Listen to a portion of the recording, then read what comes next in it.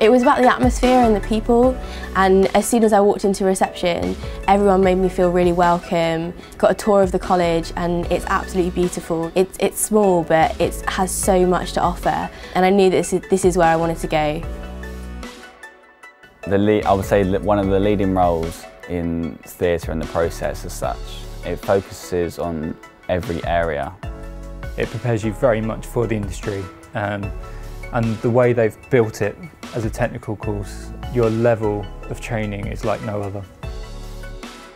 So what makes Rose Bruford unique is the way that you're taught. You have um, still an element of classroom teaching, but it's so practical that it feels like you're actually in a job for three years rather than at university.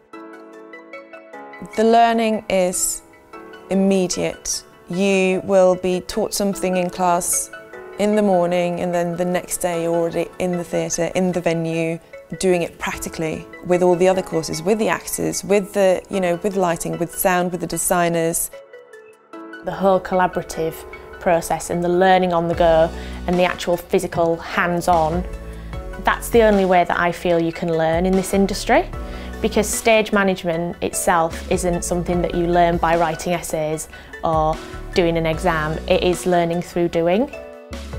While it was a traditional stage management course, it also offers a lot of opportunities to branch out your knowledge into other related industries and in various forms of events and arts management.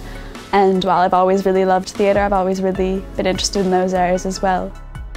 They do teach transferable skills, which means that you have a much wider scope, so you can work as a project manager, an events manager, and the subcategories of that. That's basically how I've I managed to get to the point where I am, am today. It was the training that I received to make me think of the wider picture and how the industry works as a whole.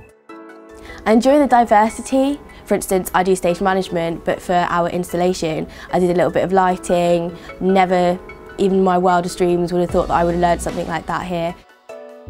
Choosing a particular course, you're only learning that one thing. Stage management, you can branch out and you can go and learn different bits and pieces. So you can learn props making, um, you can learn lighting, you can learn sound, you can learn set, costume. Just loads of different areas in the industry that uh, make you more employable once you get out there. So in year one, the tutors make sure that everyone has the same basic knowledge in lighting, sound. Second year, it's a bit more free, but they're still making sure that everyone's knowledge increases sort of in the same way. And then third year is really about the show roles that you want to do, the roles that you want to do, whether you want to go out into the industry and do some placements in certain areas, maybe theatre or events or elsewhere. It's, it, the third year is very much about you as an individual and how you're going to transition into your career. My years at Rose Bruford, those three years, were probably one of the best three years of my life.